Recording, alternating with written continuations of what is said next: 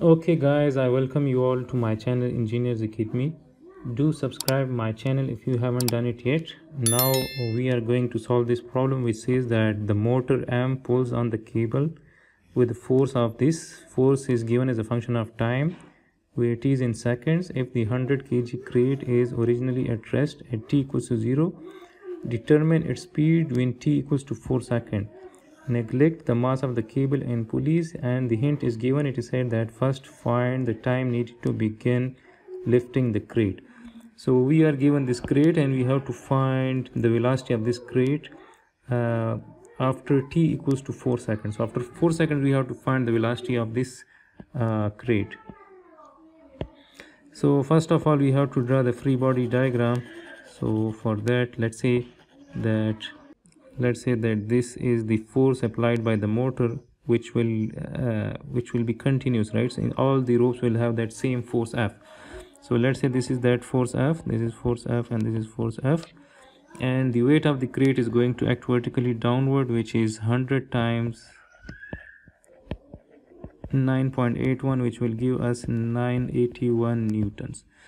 So before the start of the motion uh, for some time the motor will try to lift the crate. So it will take some time to develop that force to lift this crate. So before the start of the motion the system will remain in equilibrium and the summation of forces along the y-axis must be equals to zero. So let's say that in the positive direction that is uh, the upward direction is the positive direction of all the forces. So as we can see that uh, this force f these three forces are acting in the positive Uh, y direction so we will write 3f so we will write 3f minus weight. Weight is 981 this is equal to 0 and from this we can say that f is equal to 981 divided by 3 and f is given as a function of time which is the we can write that this f is 10 t square plus 300 this will be equal to 981 divided by 3 and 981 divided by 3 is this is 327 so this gives us 327 327 and, and if I bring this 300 to the other side of equation so it will become minus. And if we divide both sides of equation by 10 so that will give us t square. So t square is equal to this and and if we take the square root so that will give us the t value. From this equation t equals to 1.643 seconds. So after this much time uh, the weight will the crate will start its motion in the upward direction. So before t equals to 1.643 the force is not able to produce the motion. So if if someone asks to find that force so for we can find that force by using this equation 10 t square plus 300 and if we put that t equals to 1.643 1.643 square plus 300 so this will give us that force which will enable the system to lift this crate so this is 1.643 square plus 300 this gives us uh, 326.99 so this force is approximately 327 newton. Now to find the velocity of the crate after 4 seconds we are going to apply the uh, the principle of linear momentum which says that the initial momentum plus the impulse and that is equal to the final momentum. And we are going to apply this equation in the vertical direction and this is our positive direction so now as we can see that uh, the initial velocity is zero so this will become zero. And this force these three forces are acting these forces are acting in the positive y direction. And we have three forces so these are the external forces.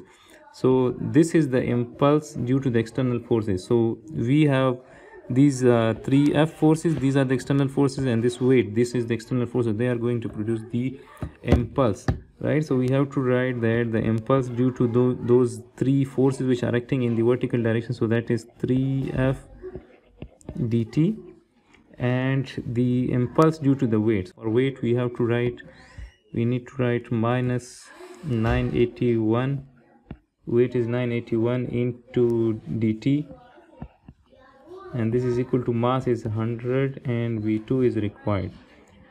So now if we want to integrate this so we have to put we can write this as 3 we can write the the, the constant outside of integration. So now we have 3 integral of f f is given as a function of time which is 10 t square plus 300 into dt